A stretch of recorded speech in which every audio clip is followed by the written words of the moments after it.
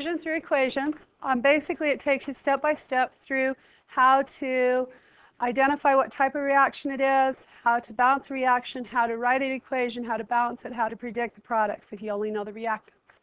So on the first one, we have um, synthesis. That's taking two things and making it one. Doesn't have to be elements, but just two things making it one, or three things and making it one.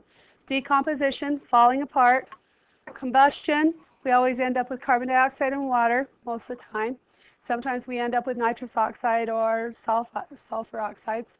Single displacement, I have a compound plus an element, gives me a new compound, a new element. Double displacement, compound plus a compound, new compound, new compound. Or acid-base reaction. This is a double displacement that's specialized. That on the product side, I'll end up with water because I have an acid and a base going together. So as we look through this, this first one, we have um, a compound, a compound, giving me a compound and a compound. So this would be what type? This would actually be double displacement. It's not working for me. Let me grab my ink tools. See if I can get something going here. Okay, double displacement and wanted to move. okay, let's try this one more time. Yeah, you didn't want to stay there. So it is double displacement. Let's try that again. Want to even move.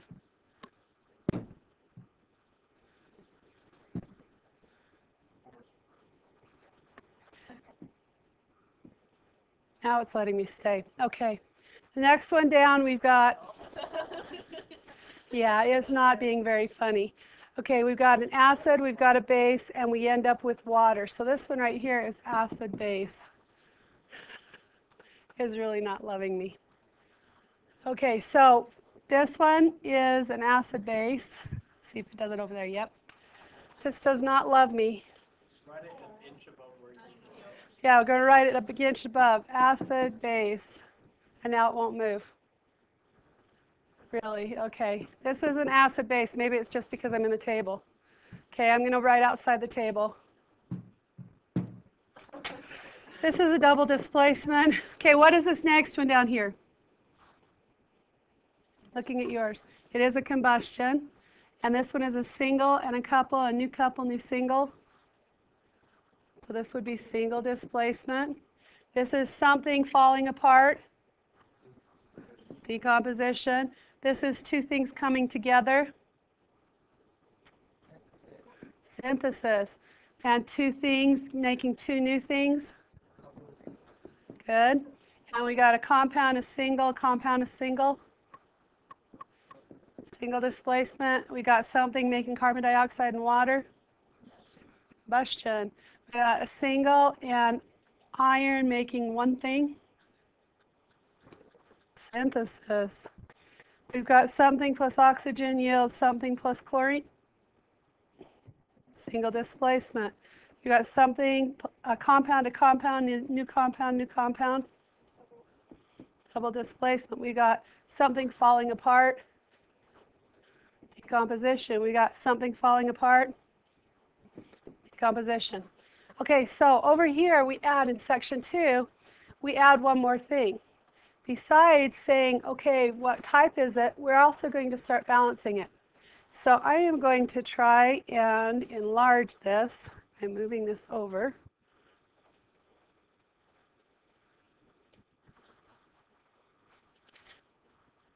Let's see how well this works. Went the wrong way.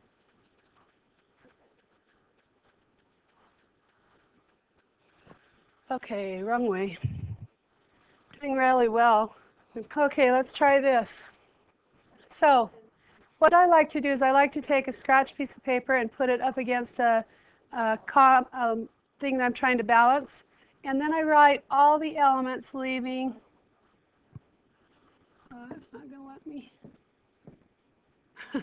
all the elements except leaving, I'm going to just do it over here. Hydrogen and oxygen to very last when you balance. So I always think ho, ho, ho. I'm leaving H and O to very last. Oxygen being the very last thing I balance. I put them right underneath the arrow. But it's not letting me put it right underneath the arrow. So I'm putting it right here. And you know what? I am going to switch to the other view. Let me stop this. Okay, so what we're going to do now is we're going to take, and I'm going to grab me a piece of scratch paper, and I'm going to take that scratch paper and just put it right under here, so you can sort of see what I would do. So underneath this arrow, I would put C, H, and O. Okay, now you look on the left and you have six carbons. On the right, you only have one. I stop every time there's not equal. Okay, I put a six here, and I always do this with pencil because you're going to be erasing and, and changing. So now I have six. On my hydrogens, I have six on the left. I only have two on the right. So that means I'm going to have to put a three in front so I can get six. Everybody okay so far? Okay, then I look at my oxygens. My oxygens, I have two on this side. On this side, I have three plus six times two, which is 12, giving me 15. So we have to use just a little trick, just for a second. If for a second I times this 2 by 15 halves, I'll get 15, right? Are we okay with that? So if I put 15 halves here, then I've got a balanced equation, but I can't have I can't have a fraction. So how do we get rid of fractions? Well, we times everything through by 2, right? So if I go 2, and then this would be 15, and this would be 6, and this would be 12. Everybody okay? So I've got this balanced. What type of reaction is this? Kaboom, right? Combustion. Combustion. Okay, so now I'm going to get a bigger eraser and erase this. I'm going to move my sheet. Got to get my finger now back down to the next one. So on the next one, again, I would move my scratch piece of paper around.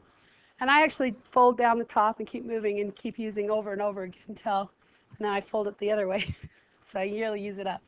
Again, leaving oxygen till very last, hydrogen till second to last, and I just keep going like this. Okay? So left I have one sodium, right I have two, so I'm going to come back here and put a two. Iodine, I have two on the left. Oh, I have four on the right. That means I've got to come back here, get rid of that two, and put a four. When I do that, it changes that and that, right? Okay. Lead, I have one. Lead, I have one. Sulfur, I have two. Sulfur, I have one. Oh, I know why I didn't go back and fix my sodium. Because now I have four on that side, I need four on this side. When I do that, now I've got two sulfurs. Oxygens, four times uh, two is eight. 2 times 4 is 8, and we're done. Okay? Right. So what type is this one? This is a double displacement. Okay, the next one, going down, nitrogen, hydrogen, oxygen. So on this one, we have one nitrogen, one nitrogen. We have three hydrogens, two hydrogens. So common factor here is 6. So if I times this one by 2, I change this to 6, but change that to 2. And I times this one by 3, I change this to 6. I've got to go back and fix my nitrogen, make that 2. Now I go through my oxygen have 2 on the left. I have 2 plus 3 on the right. I have 5 on this side. Only way I'm going to get 5 is timesing this by 5 halves. But I can't leave it that way.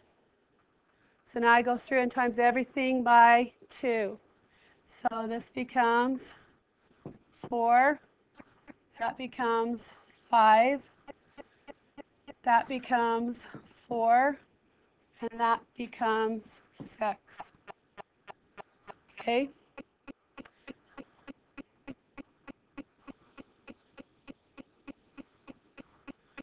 Okay, this is what type? Is sort of a hard one. This one actually is also combustion. Because we end up with water, we have something plus oxygen yielding an oxide and water. Okay, this one is what type? Falling apart, so it's decomposition. So then we're going to go F, E, H, and O. So Fe we have 1, we have 2, so we're going to put 2. And then H we have 2 times 3 is 6, and we have 2. So we're going to put 3 here to make 6. Oxygen we have 3 times 2 is 6, and we have 3 and 3 is 6. We're done. How are we doing? Getting this? Do a few more. Are you are you okay? Move on. Got it? Need more? Okay. Let's go ahead and go on to the next section then. Section 3.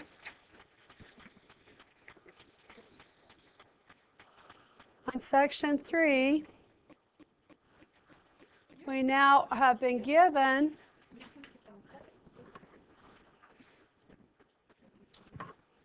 we've been given the actual word equation and we just have to write it and balance it. So this takes into your last chapter where you actually had to write the compounds.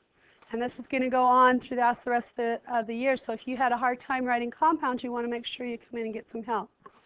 Okay, so silver 1, 1 referring to silver.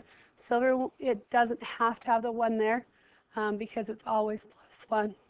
So nitrate is NO3 with a minus 1, and silver is Ag with a plus 1. So we're going to just smash those together. Hydrogen and sulfur is a minus 2 because it's 2 away from being a noble gas. So it's going to be H2S, that's rotten egg gas. Gibbs is my arrow.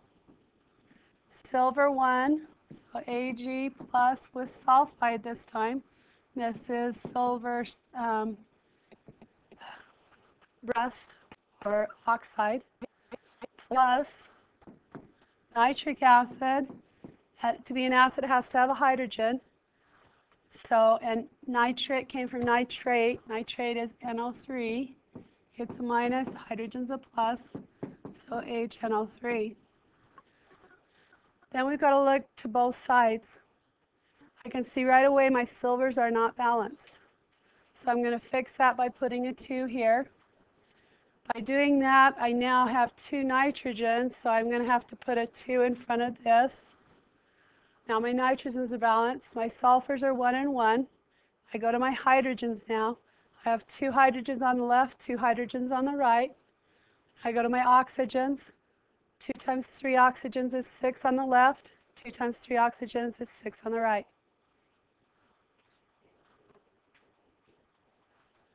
Okay.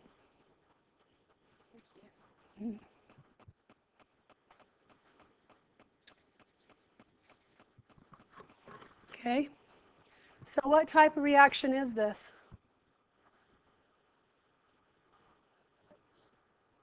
Compound, compound, new compound, new double displacement. Okay, let's look at the next one. Tin is SN plus copper, that Roman numeral tells me the charge. Sulfate was SO4 with a minus 2 charge. So if copper has a plus 2 and sulfate has a minus 2, I just smash them together. Gives is my arrow. Tin, it gave me the Roman numeral 2, and I already know sulfate's a minus 2, so I'm just going to plug it in. Plus copper got kicked out. Okay, so I have an element plus a compound yields a new, ele new element kicked out plus a new compound. Since they both were plus 2 and the sulfate was minus 2, they're basically balanced already. So this type right here is what kind? Single displacement. Good. Okay. Next one, we have calcium, Ca plus Iodine. Now, this is where this comes in. Don't forget Braun-Hifkel, the diatomics. So bromine, oxygen, nitrogen, hydrogen, iodine, fluorine, and chlorine all are hanging around in pairs. Iodine is one of those, so I put I2, not just I. And then that gives calcium, which has a plus 2, iodine, which has a minus 1. So I need one calcium to two iodines. And it just so happens that balances out on this one. What type of reaction is this? Synthesis. They're going together and making a couple. Okay, next one we have propane, C3H8. It gave it to me already. Plus oxygen, that's another one of our Braun-Hifkels, gives carbon dioxide and water. What type is this? Combustion. Okay, now we're going to go through and balance it. So we have three carbons. We need three carbons. So put three there. We have eight on the left, hydrogen. We need eight hydrogens on the left. Now we do the oxygens. On the left we have two. On the right we have 3 times 2, which is 6 plus 4 is 10. I can get 10 by putting a 5 there, so I don't have to use the little trick. Okay, next one, sodium carbonate. Sodium is Na, and it has a plus 1. Carbonate is CO3, and it has a 2 minus. So I need two sodiums to go with one carbonate. Plus sulfuric acid. An acid comes with an H, and H is a positive. It came from 8, so sulfate was SO4. And they already gave you the formula there, so you have to figure it out. Is or gives sodium sulfate, so Na2SO4 plus carbon dioxide plus water.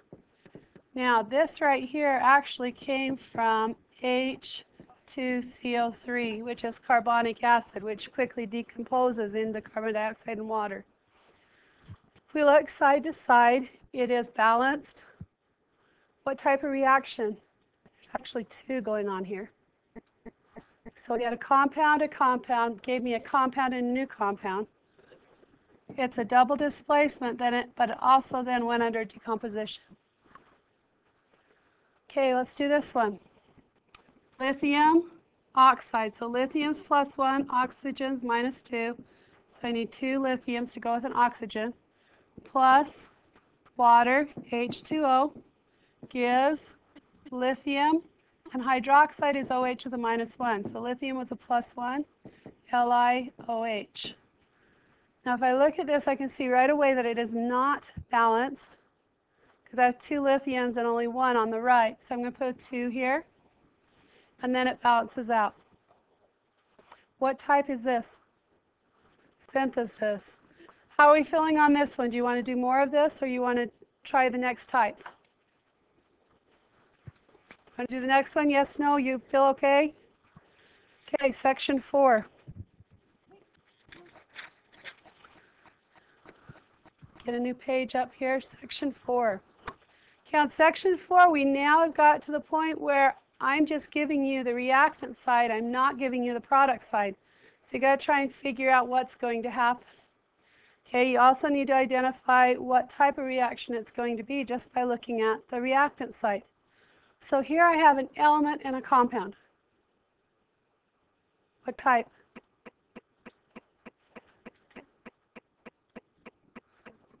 Single displacement. Has to be a single displacement.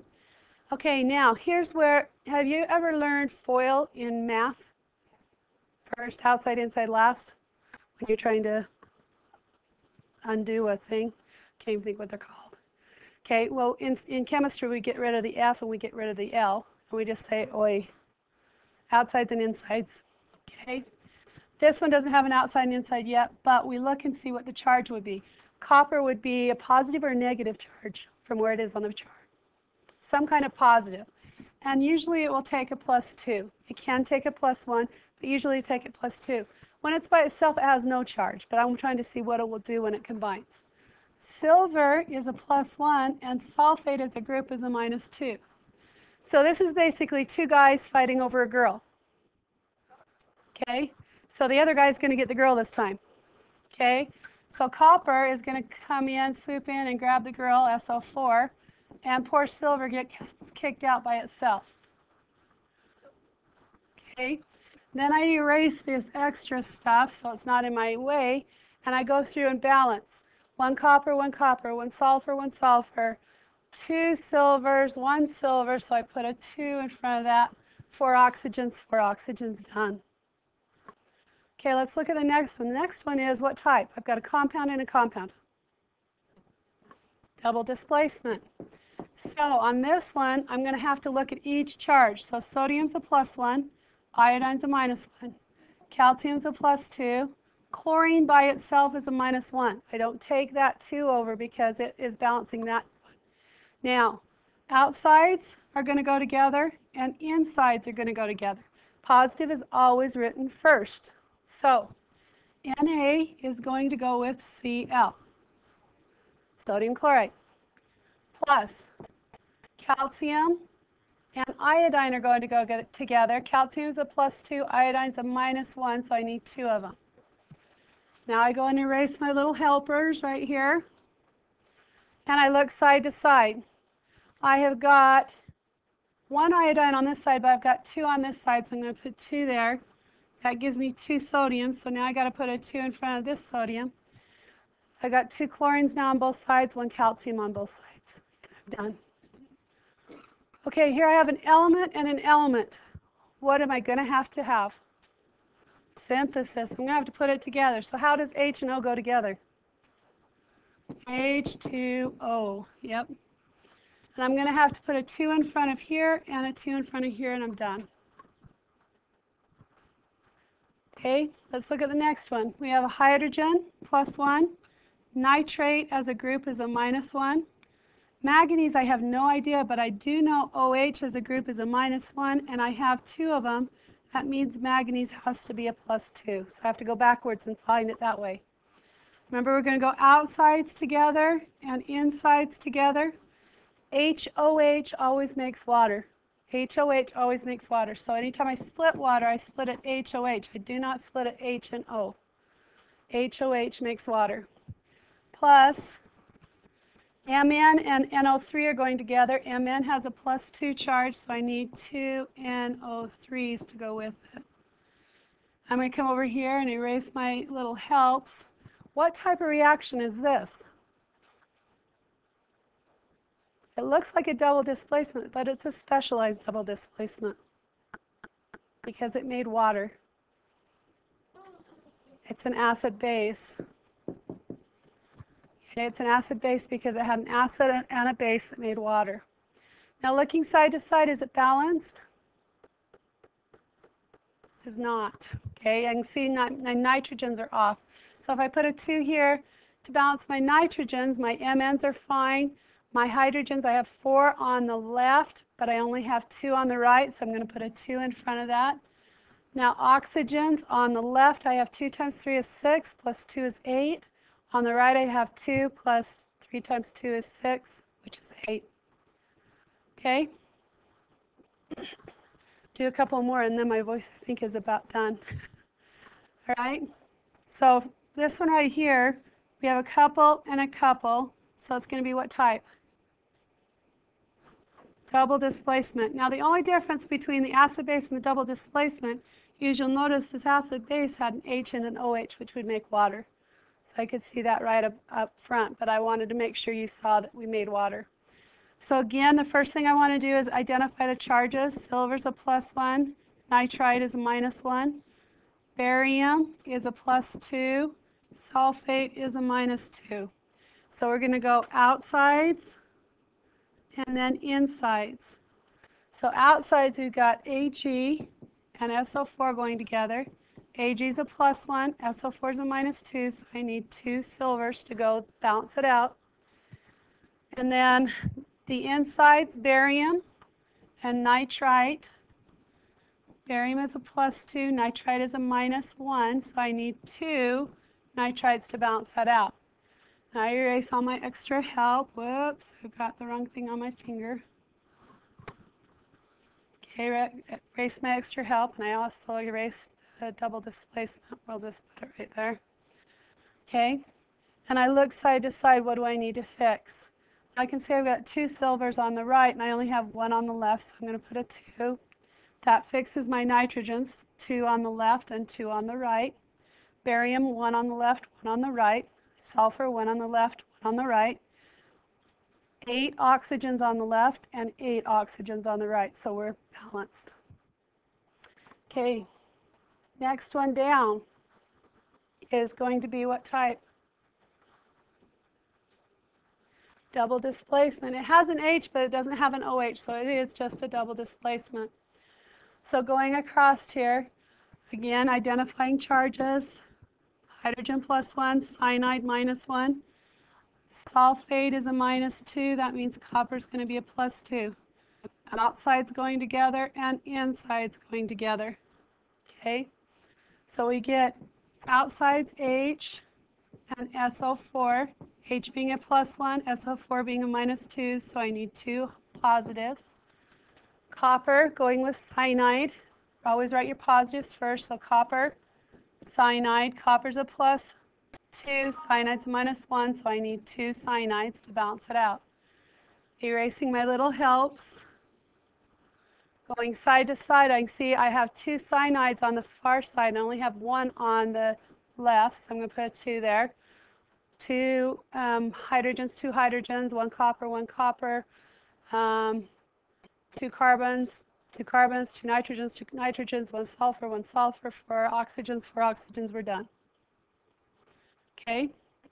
This last one down here, I want to make sure that I did with you because it's water. And remember up above I told you water will split HOH.